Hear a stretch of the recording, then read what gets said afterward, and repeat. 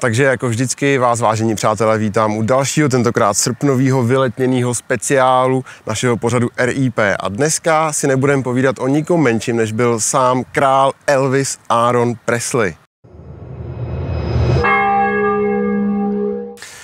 Elvis Aaron Presley se narodil v roce 1935 v mississipském městě Tupelo. To už se málo ví, ale to, že on se narodil až jako druhý. On měl totiž identický dvojče Jesse Garona Presleyho, který se narodil 35 minut před ním, jenže bohužel se narodil mrtvej. Tím pádem se z Elvise stal jedináček, čehož si jeho rodiče dost vážili a dost ho rozmazlovali. A jelikož byli na jihu, tak samozřejmě malýho Elvise brali na různý náboženský schromáždění a do kostela a tam právě Elvis objevil svoji lásku k muzice.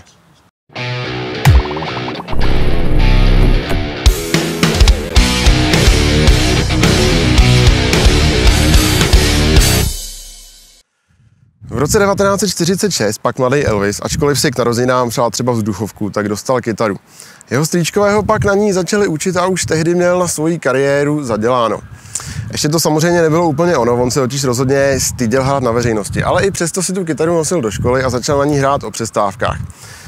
Neodradilo ho dokonce ani to, že se mu spolužáci smáli, že hraje vidláckou muziku a pokračoval v tom dál a dál. Díky Píli a taky díky kamarádům se potom dostal do rádia, kde ho sice na poprvé skolila tréma, jenže na podruhý už to rozbalil.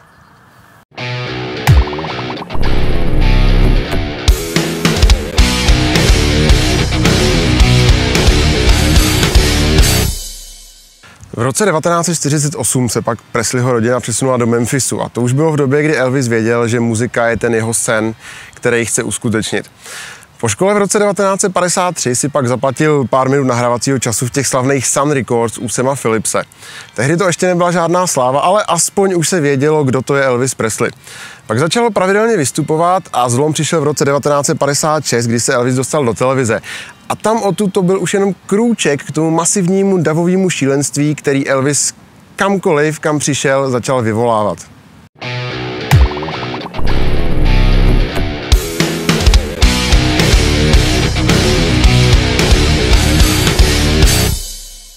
Další velký zlom v životě a v kariéře Elvise Presleyho přišel v době, kdy už Elvis byl mega hvězda.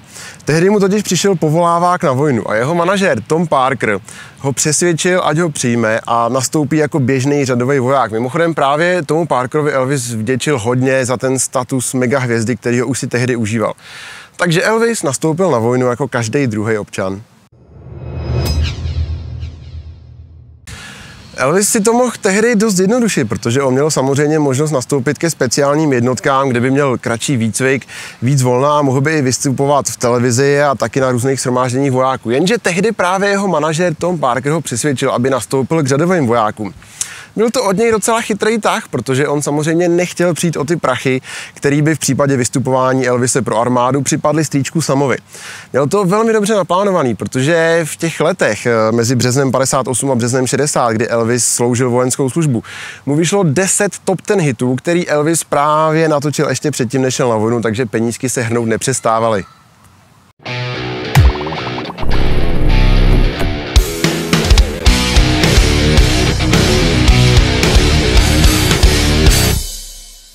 Jenže samozřejmě na vojně se Elvisovi přihodili dost zásadní momenty, jak už to tak bývá. Umřela mu jeho milovaná maminka, která pro něj v tu chvíli byla nejdůležitější osoba na světě. Seznámil se s tehdy 14-letou Priscilou, kterou si za 7 let potom vzal a taky se seznámil s amfetamíny, který se staly jeho kámošem, ale to až v pozdější kariéře o tom se ještě povíme.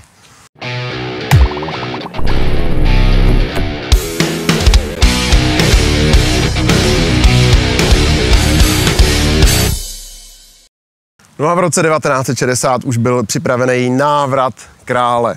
Elvis se vrátil v skutku triumfálně. Znova písničky na vrcholcích hitparád, okamžitě šel do televize. Jeho manažer mu tam tehdy domluvil neskutečných 125 tisíc dolarů za 8-minutový vystoupení v show Franka Sinatry. Elvis té mánie, která se zase rozjela na plný obrátky, začal využívat a vrhnul se po hlavě do filmu. V 60. letech jich natočil 27, většinou to teda podle kritiků byly braky, jenže díky Elvisovi právě vydělávali dost velký peníze. Ovšem, jak už to tak bývá, tak se mu to nakonec vymstilo. Fanoušci se mu začali smát, že je to vlastně parodie sebe sama, že už je to jenom vyhaslý hudebník, který neuspěl ve filmu. Nakonec se to projevilo i v tom nejdůležitějším a to byly samozřejmě prodeje desek. Studio si toho okamžitě všimlo, když jedna z desek, to byl právě natočený soundtrack k tomu jednomu filmu, měla nejnižší čísla na prodaný album Elvise v historii. Jenže tehdy už byla škoda napáchaná.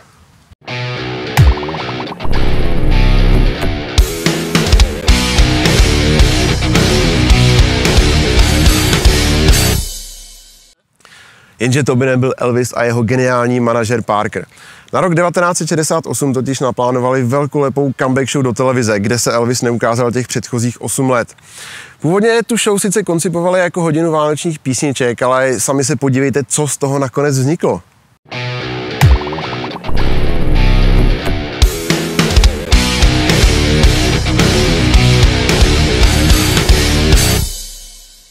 No a po úspěchu tohoto famózního speciálu už byl comeback dokonán. Elvis se vrátil do studia, natočil svoji první desku, která nebyla soundtrack po osmi letech. Čísla zase vyletěly nahoru a celá ta mašinérie se opět rozjela na plný obrátky. Elvis dostal velmi lukrativní nabídku na vystupování v hotelu Las Vegas. Tam přišel, viděl, zvítězil a majiteli hotelu se ho tak líbilo, že si ho angažoval jakoby domestika v tom hotelu a dal mu smlouvu na milion dolarů za to, že každý rok v únoru a v srpnu tam bude vystupovat. No nebrali byste to?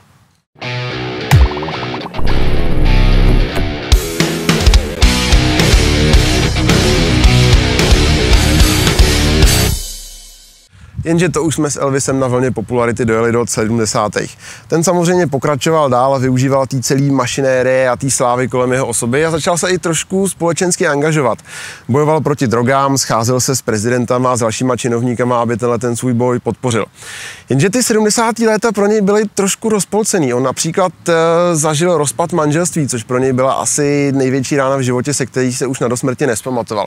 Ovšem na druhou stranu vydal některý ze svých nejprodávanějších věcí, jako byl například záznam z koncertu v Madison Square Garden, nebo v roce 73 ten slavný speciál Aloha from Hawaii, což byl mimochodem první koncert, který byl živě přenášený po celém světě pomocí satelitu.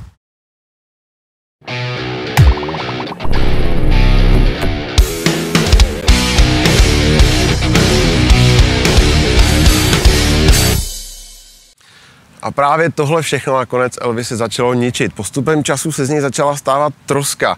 Byl závislý na prášcích, na barbiturátech, na demerolu.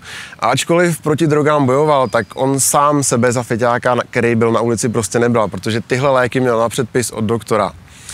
Občas ho ta závislost srážela na kolena, občas ho srážela do komatu, ale Elvis dál bojoval a pokračoval ve své kariéře. Naopak v roce 1973 si nasmlouval dokonce 168 koncertů za celý ten rok.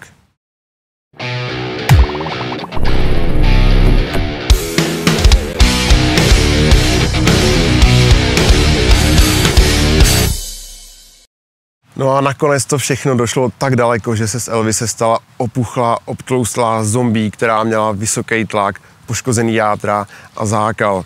Už ani nebyl podobný sám sobě, tomu dívčímu idolu z těch předchozích let, který všichni znali. No a v srpnu roku 1977 to nakonec došlo tak daleko, že jeho mrtvé tělo bylo nalezené na podlaze hotelu.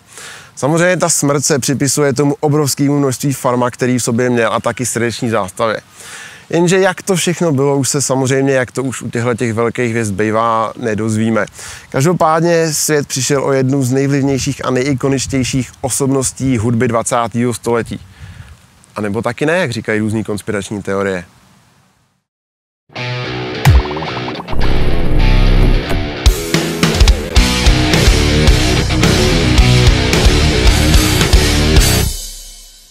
No a samozřejmě, co bychom to měli za díl, kdyby nebyla soutěž. Ani teď na ní nezapomeneme. Otázka tentokrát zní, jak se jmenovala Elvisova máma. Odpověď nám prosím napište na tuhle adresu, do předmětu dejte RIP a nějaký šťastlivec z vás dostane něco na sebe, aby mu nebyla zima, něco ke čtení, aby se nenudil na záchodě, no a tak dále.